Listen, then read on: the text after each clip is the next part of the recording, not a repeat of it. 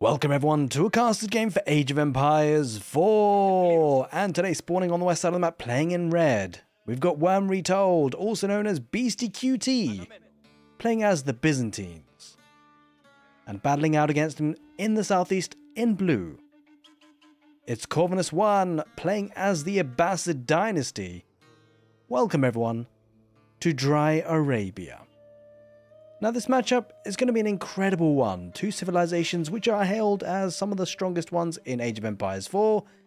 And actually, as it happens, whilst they're both, you know, strong for their different reasons, this particular matchup has an insanely skewed win rate. One of the civilizations just absolutely trounces on the others in pretty much all skill levels. I'm not going to put any spoilers. Of course, the title and thumbnail suggestive of some things, but I'm not going to tell you. So if you already know, you know. But to be fair, you've got to be a bit of a stats whiz if you do know. We'll talk about it near the end of the game, but I'm pretty excited because, again, as we say, the, the odds are stacked against one of the players. But it's difficult to tell at times because these two civilizations are held to be pretty strong. The question is, well, have people kind of got the wrong end of the stick? That's what we will discover today. That's what we'll explore. What we'll find out is exactly how these two players, well, face up this match. Now, the Byzantines, incredibly powerful because of the olive oil. They get the olive groves, they get the uh, olive oil from the berries, especially choosing the Grand Winery as a landmark, which is commonly chosen. You get an extra 60% olive oil from the olive groves and, and the berries, so picking that up is incredibly nice. You get a lot of mercenary units because of it. That's what the olive oil you know, can be spent on. So a lot of military. And when you think about civilizations and how they kind of operate, you have some civilizations that typically focus on the feudal age, some that focus a bit more on getting to the castle age. It's not often that you get civilizations that do both. Well, guess what? The Byzantines can actually achieve you know, both at a really good similar timing. And the reason why is because, of course, you're going to gather berries, you're going to gather food from olive groves anyway, and you get units for it. So it really helps you out getting military units. You can be aggressive with those, you can just defend yourself to get to the castle age. So not only do you make units, you also get to the castle age at a very good timing. Of course, the cistern plays a big role in that as well. You get the extra 10% gather rate on the villagers boosted up by this, just at water level 1 as well, which you can increase. You make more cisterns, connect them up via aqueducts, and that gather rate of the villagers does increase. That's a lot about the Byzantines, of course, but over the way, on Dry Arabia, we've got the Abbasid dynasty. A civilization that actually is able to boom very heavily, get lots of villagers very cheaply because of the fresh foodstuffs technology, reduces the cost of villages by 35%. Now, because of that, this civilization typically does make multiple town centers, but something you may have already noticed is that instead of going for the e economic wing, and going for the Fertile Crescent upgrade, which would reduce the cost of economic buildings and houses by a significant amount. Well, in fact, Corvinus is actually opting for the military wing. He's going to be getting two free spearmen and two free archers as he does age up. Now, the reason why this is so significant is actually in the most recent meta, really. The Abbasids typically like to get second town centers, which they may still even do anyway, but they usually look to go for the eco wing. Corvinus, though, splitting it up, changing things up a little bit, maybe he's adapting to the matchup. Because the Byzantines are also a civilization, if left to their own devices, can really kind of eke out a lead and extend it very quickly. And a lot of it comes down to the fact that they get a lot of olive oil really quickly, and they, you know, look at this, he's just going to plunk down another cistern and get the water level up. Now, the military wing, with these units heading across the field, might actually look to challenge that somewhat. So pretty excited to see what Corvinus is able to achieve here and how much damage he can do. Around the back on the berries, getting the uh, food that he would like to uh, get nice and quickly. And the good thing about the Abbasids is, of course, being on berries, it means that he can uh, really make use of the sheep later on in the game in case he's pushed by the Byzantines, which you know, wouldn't be surprised if it happens, because Byzantines, as we said, can get units very quickly. And of course, just spending the olive oil in order to do so. In fact, there is the mercenary house. I'm kind of curious to see what um, contract is going to go for. Now, the Abbasids can typically get a lot of archers, especially in the, um, the age scaling up to the castle age. They get composite bows in castle age to increase the attack rate of their archers. And so we potentially could see the javelin throwers coming out for the Byzantines, Maybe Keshiks is always an option, maybe, but going up against camels later on is a bit of a problem. Longbows, it's a possibility. Either way, Corvinus going to start. I mean, he might. No, he's not going to get a villager kill out of this, but it's going to be causing a bit of harassment. And, and the bigger thing is he's denying the berries. He's denying the olive oil. And that really hampers the war machine for the Byzantines. He's not going to be able to afford too many longbow too quickly from the mercenary house. I say longbow. It could be, it could be, you know, could be a different contract actually, as it happens. Uh, no uh, indication exactly what it will be at the moment. And he's using the spearman to torch down the aqueduct. He's actually going to be taking that down, and um, it makes a lot of sense to go for the aqueduct because what it does is it, it's only got 600 HP, right? So he's got more of a chance to actually destroy that as opposed to the cistern with more than double the HP. So uh, maximized the usage of the spearman, made sure he actually did some lasting damage. On the mercenary house, we're going to have to get a mark here. This is problematic. He's kind of struggling for food right now, going over to sheep. But he's not being able to take advantage of the berries and the olive oil. And he might even get the cistern, which is pretty huge if he does. Now, behind all of this, all this aggression, look at this. Corvinus has added in a second town centre. Going for the berries, very nice and safely. So he's getting his economy rocking and rolling very nicely. Definitely a different style for the Abbasids, but I mean, could this be the way forward in this matchup? We'll have to see, of course, a long game ahead of us most likely. We shall see exactly how this one pans out. As now we see a bit of an early olive grove transition, which is not ideal actually as it happens, because, you know, the, the Byzantines, they want to be on the berries. They, they want to get these berries, the olive oil from that, the food, free food off the map. But a handful of units has denied all of that, at least temporarily. Now it is on flames. Now he does have villagers coming out to repair, setting a couple of the Limitanei. And he should be able to get the repairs here, Beasty. It might suffer some losses though, these archers. They're focusing on the villagers now, so whilst the repairs are out, he might lose a villager. No, he gets away with it there, Beasty. And he did lose one of the spearmen, although he's adding in more archers behind this, Corvinus, so he's really pumping out units. As you can see, archer range is up, barracks about to be put down as well. As we see the javelin throwers coming out now for the Byzantines. Now he's kept this alive, the cistern unfortunately is going to lose that. Uh, maybe not lose, yeah, probably will lose a scout in the end. We shall see if, yeah, unfortunately, that looks like that one's going to go down. Down he goes. He's going to get a Blacksmith now. So, you know, BC's been able to hold. I mean, there was nothing really to hold against. Not too many units. But what, what it really is, is that he now can go to berries. But it's done a lot of damage. It does a lot more than you can think. Uh, you may think at first glance, because not having the olive oils means that he's only uh, only just now been able to get the uh, the javelin throws out, and he's had to have uh, a bit more of an olive grove transition, which he maybe didn't want as much as early as he has had to go for today. But either way, the early damage has been done, and Corvinus now behind all this. The second town centre has already got the villager lead by about four. And, uh, but of course, the Byzantines, what you have to be very wary about is their propensity, once they do get onto the berries, as they have now, they are going to start pumping out units quick time. And so it's only a matter of time before the Byzantines are staring down the barrel of the Abbasid dynasty base and looking put, you know, to put a lot of damage in. Especially with the Greek fire from the Siphon. We shall see how quickly Beasty can mount a response.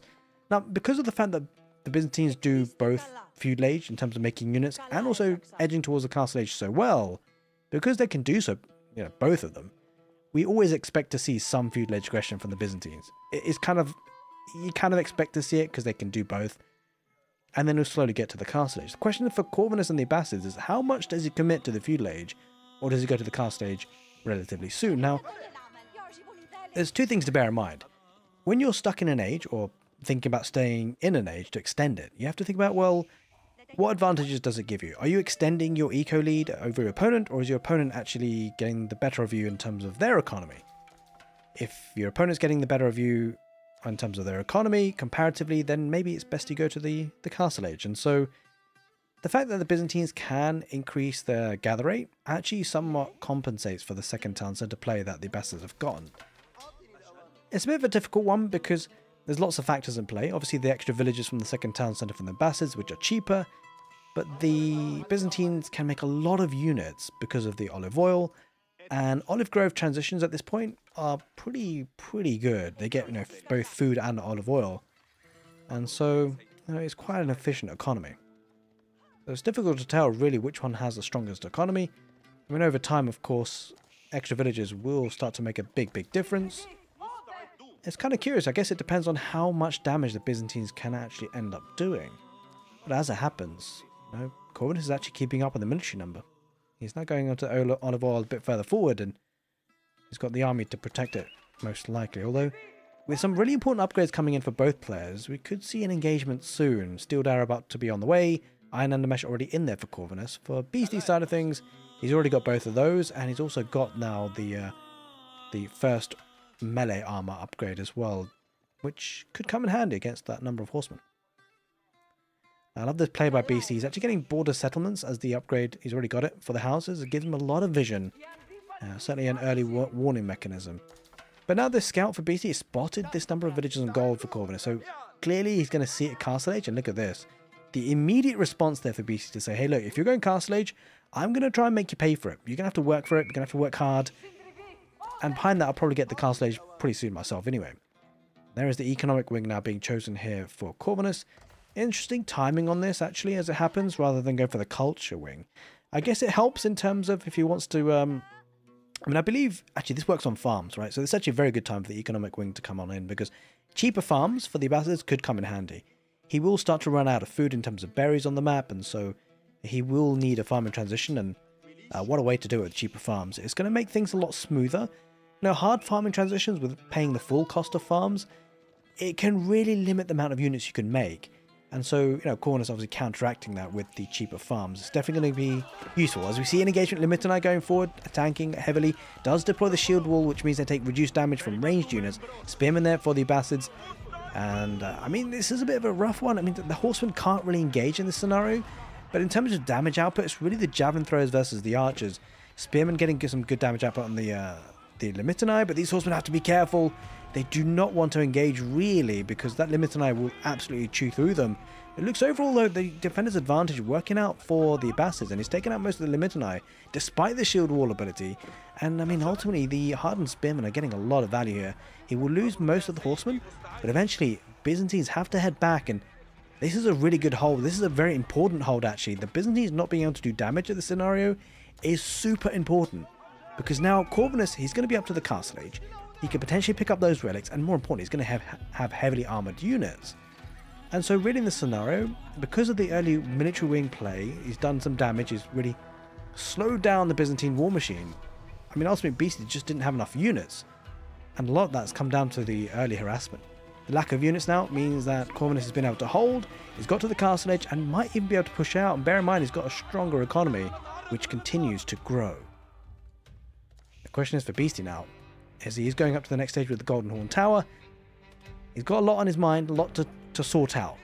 He's got to be able to think about what his enemy is going to go for, find the right counters, think about picking up the relics to contest those, and make sure that uh, he has that olive grove transition, which is actually working pretty well for him. Might need a bit more as time goes on, but certainly make sure that he survives any oncoming push, but also picking up those relics. It's going to be important here for Beasty. He also has to think about, well, how does he catch up with his enemy's uh, economy? Does he add in a second town center himself? It's quite possible. I think the Byzantines are one of several civilizations, like the Japanese, the Ayyubids, that can often add in a second town center. They're more prone to adding in second town centers in the Castle Age, but it's usually because they're up to the Castle Age first and earlier. They usually at a village deficit because of it, but they pick up relics, and uh, yeah, it's kind of a weird situation in this match. Because of the military wing opening for the Abbasids, them getting to the castle age with a double town centre play is very unusual. You expect to see the Byzantines doing some damage, getting to the castle age first themselves, at a villager deficit, granted, but then they usually, because they've got to the castle age faster, pick up the relics, and then add in a second town centre themselves to catch up, or at least keep up with the villager production. But it's kind of turned on its head a little bit. So really interesting uh, chain of events from the early military wing play here from Corvinus. It's done a lot of... Um, it's delayed things heavily. Looks like he's going to go for the Ghulams and the Lancers.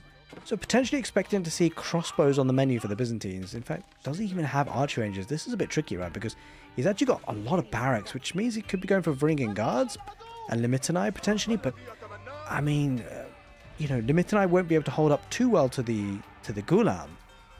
Maybe Varangian Guards can hold on somewhat, but the uh, infrastructure is a little bit awkward for BC. There is the arch range. Now the crossbows are being queued up, but it's a bit rough, right? Because he's got four barracks. Imagine it was, I don't know, two barracks and two archery ranges. It would be a whole different story, or even that, even like three barracks and two archery ranges. You know, pretty solid. As it happens, though, things are a little bit dicey. At this point, the javelin throws don't necessarily get too much value going up against the uh, the Ghulams and the uh, the Lancer that was there. But certainly interesting opening, and as we head into almost the 16 minute mark, we need to think about relics. Beasty is starting to focus on that, bringing, bringing one back here as we speak. I wonder if the, uh, the, the Abbasids are doing the same. We'll, we'll check on that in just a moment because it's about to be a bit of an engagement, and, and this is a fight that really the Abbasids should win hands down. The Ghulams should rip through the Limitanei. And, you this is a weird situation for Beasty because the army here isn't, it doesn't really feel quite right, right? The Limitanei doesn't counter anything here.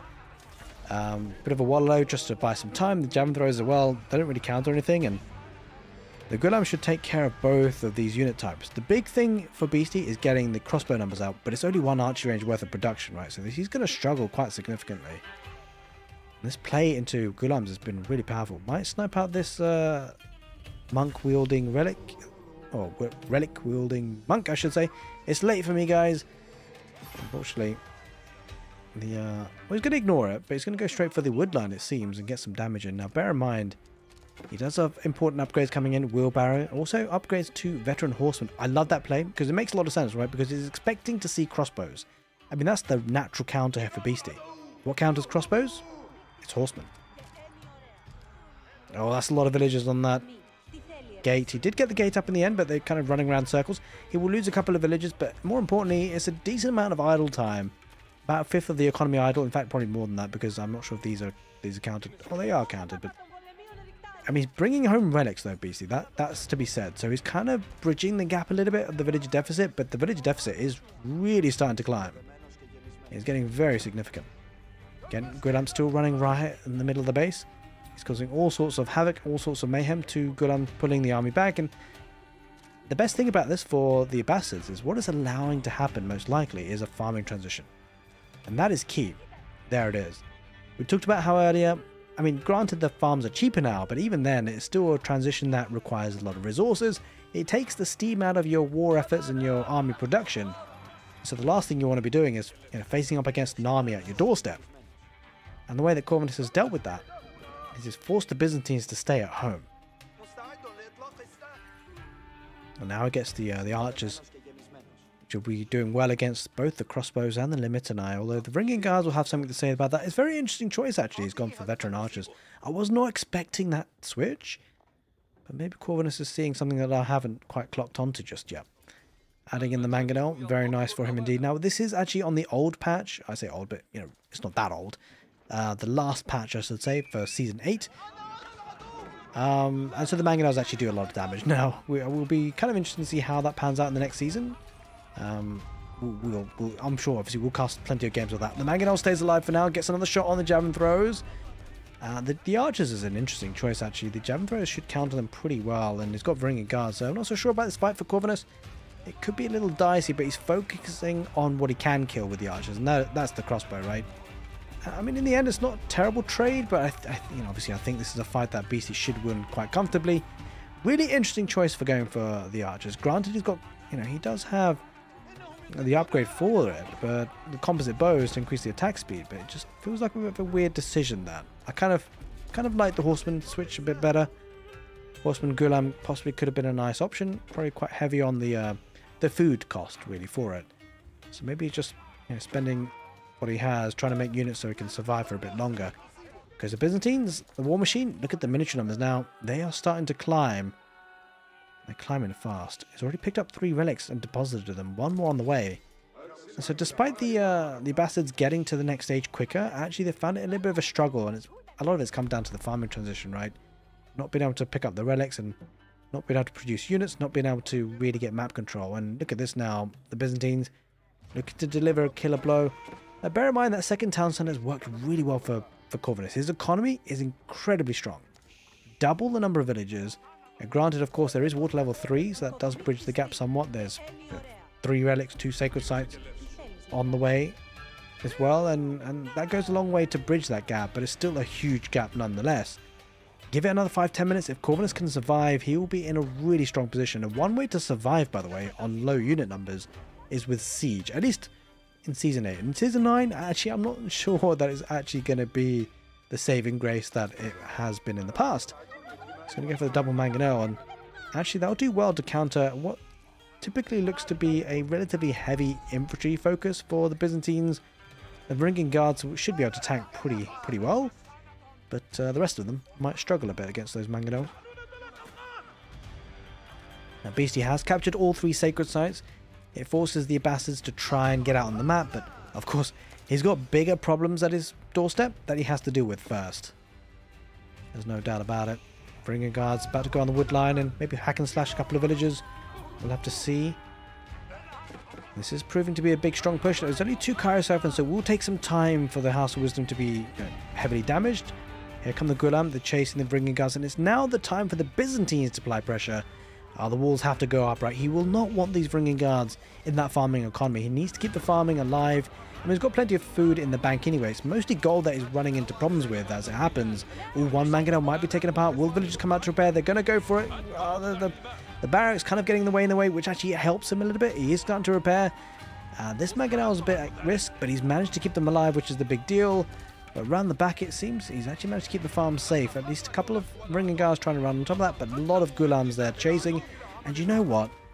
This hold for Corvinus looks like it should be able to work. I mean, of course, there's a lot of units here, but the, the switch again to Ghulam is a switch that I really like to see. There aren't that many crossbows on the field for Beasty, and so the Ghulam should be able to overrun. Now, three Cheirosiphons is a bit of a problem. A couple of units taking those down as we speak. And the palisade walls here on the right side were a bit of a clutch play to stop this army moving forward. But it's going to get another Cheirosiphon down this side as well. Multiple angles of attack, which Corvinus has to be careful about. Here come the Mangonels. Good shot on the retreating army. Now on that wood line, oh, this could be a lot of casualties. Corvinus, he's not spotted it yet. He has now. He loses a couple, another layer of palisades. You need to keep this Cheirosiphon out of the farms, if you can. Slowly but surely, it feels like Corvinus is buying the time he needs. Desperate to get those palisades, desperate to keep the Varangian Guards out. And looks like he won't because they're going to sneak around in between the house and the palisades in the end. Cheirosiphon should be taken down by the Ghulam in the end, but the bigger problem is here. He's having to repair Herr Corvinus, and he's used a lot of villagers in order to do so. Beast, he's killed 35 in total, and there's a lot of army camping out here. This is a problem that Corvinus has to somehow deal with. But look at this, he's broken through a couple of units, picking off some villagers. And this is looking a bit dicey. Now, bear in mind, the Byzantines are still in one town centre, but he's killing more villagers and bridging that economic gap. Oh no, the villagers on gold he spots this, and Corvinus has got so much gold, but the trouble is his food, right? And, I mean, Beasty's just done such a good job of denying food income. Look at the constant stream of army here. Corvinus, he's got a hold on his hands. He's got to make this work, and he's got a good army, though. There's no doubt about it. Defender's advantage should help him. The two Mangonels could come in clutch here. Horseman diving on the infantry, which is actually pretty, pretty good. I mean, there's no there's no Limitanei here. That's the key bit of detail. Oh, no, th this could be devastating. Corvinus might lose a lot of villagers. He's not responded to it just yet. He's got a lot to focus on the front lines as it happens. Now, the Varangian Guards, they're a bit tricky, right? Because he's got plenty of good arms to try and try and you know, basically shield against that. He's got a lot of crossbows behind that, and the Mangonel's getting some good shots other than javelin throws. I don't think this push actually works as it happens. The repairs coming up. House of Wisdom is really struggling, but if he can get one of the Cheirosiphons down, he should be able to out repair this damage input. And looks like he will. He's going to get this around now, and eventually Beasty, he's running out of steam in this push, but up in the... Oh, there's a massacre. All those villagers died in the end. And he's killed 54 villagers in total. Corvinus' economy is arguably actually weaker than Beasty's at the moment. But he has been able to pump out a lot of units to hold the hold the lines. And you know what? These Ghulam, they're heading forward. They're looking to do damage. Of course, Sacred Site Victory is an option, but these are relatively unguarded, unprotected. And of course, Corvinus should be able to build... I mean, he's going to be able to you know, out-train his enemy's village account, right? He's got two town centers after all. Beasty never added in a second of his own. So Beasty's actually holding one relic somewhere. Not entirely sure where, but it seems like he's been holding it for a while. But he's back on the farms and You know, Beasty detects this as a problem. Uh, what gives it away is the market, right? And it's an awkward position. You can tell that Corvinus had to rush it down, and so I'm sure Beasty recognized that. You know, the damage it did earlier, it's obviously causing problems. But that's a lot of food income coming on here. In fact, let's take a look. It's 41 farmers. It's getting about 2,000 food per minute, which of course the Byzantines are doing the same, and they're getting olive oil at the same time, so it's pretty, pretty solid. Although, I don't really know about the utility of the javelin throwers in this situation. Um, it, it, it, kind of theoretically makes a lot of sense because you do sometimes see the Abbasids go for archers, but I don't know if they really scale too well. Either way, he's not going to go for... I mean, he's still got archers to be fair as it happens, strangely enough, despite the threat of the javelin throwers. He managed to stabilize and is rebuilding that House of Wisdom. Second town centered out now here for Beasty, recognizing that he couldn't really deliver a killer blow. He doesn't want to fall behind on the village count too much again. Now, a pretty big problem is gold income. Two gold veins pretty exposed, or this one is going to about to be exposed. It's, it's not really mineable at this point. And look at this Beasty recognizing that situation, but Corvinus recognizes it too. He's going to try and get the palisade walls. It should work out for him, but these are ranged units here, so he will lose a couple of villages at the very least. Oh, he snuck around the corner with the Limitanei, unfortunately. The palisades will make it difficult to just waltz on in, but he's denying that position and the gold, which Corvinus is now looking to solidify and deal with. Cracking game of Age of Empires 4, no doubt about it. And as always, I would like to say a very big thank you for everyone who's been supporting the channel, whether it be on Twitch or YouTube, you guys are absolute legends. Hey, look, if you've been enjoying the content, especially this match, or maybe you've watched a couple of my games casted, make sure you are subscribed because I'll be uploading maybe every two days or so, and uh, only the very best games, are, of course, and that means uh, plenty more Age of Empires 4 action on the way. Make sure you hit the notification bell as well, because that's really the most important thing you can do. Gives you a bit of a ding-dong when I do upload a video. And uh, speaking about ding-dongs, I mean, he's right at the doorstep here, ringing the bell. Beasty trying to get some damage. I mean, he's got Limitanei versus Horseman. Of course, favour the Limitanei, but there's plenty of archers there added into the mix. A couple of Varangian guards too, and eventually this will be cleared up. So Beasty's a little bit of an attack here, not going to achieve too much. Could maybe two, three villages or so, maybe four. Yeah, it does seem to be four in the end, so it's better than nothing, of course. Villager count relatively even as as things happen, and I suspect we'll see wood. Okay, actually only wood level three for BC at the moment. But that is a lot of Ghulam. Look at the military numbers now, 97. The war machine for the Abbasid dynasty really has come online and he has managed to survive to a point where actually the Abbasids should be able to move out and do a lot of damage. Mangonels deploy, decent shot off there, and if you can get on top of the infantry, it will be absolutely huge. A big thing for Beasty is actually having to split up his army to try and get value, right? He's trying to deny the gold, but it means that his forces aren't in one direction, and it becomes a problem. Oh no, this is an issue. Look at this. Oh, the crossbows, they're out of position. They're on the front lines when realistically they should be at the back of the base because this is what's happening. The Ghulams are going to march on in and it's going to take some time for Beasty to head in his position. He's almost at population capacity as well. So there's no easy way to reinforce. He's got defender's advantage, but there won't be too many units popping out here. His army is stuck on the map and doesn't have all sorts of uh, particularly good mobility. And the horsemen are here. Oh no, the Mangonel is going to take out these javelin throws and the crossbows. That is not a good position to be in for the Byzantines. And his base is overrun here. Corvinus, will he be able to beat the odds? The odds are stacked against him. The win rates for the Abbasids versus the Byzantines are absolutely abysmal at pretty much every skill level of Age of Empires 4. And could it be the military wing that seals the deal? He's trying to get a keep here, but this probably won't go up. Oh, those archers. They're going to kill so many villagers. Beasty, he is losing on multiple fronts. Now, he might win this fight eventually, but he won't get that keep up. And in his main base, his economy's idled. This is not good. He's going to be struggling on food. He's got four in the bank, and there it is. Corvinus, he beats all odds, and he does it with an interesting strategy. Not something we see all that often these days. He went for the miniature wing, and it all unraveled from there. Hope you guys enjoyed this casted game. If you did, make sure you give the video a thumbs up. Take care, and see you next time.